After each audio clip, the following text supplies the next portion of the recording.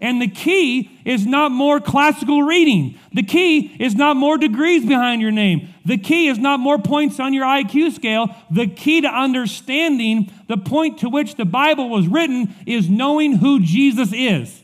That's the hermeneutical key that unlocks the meaning of this book.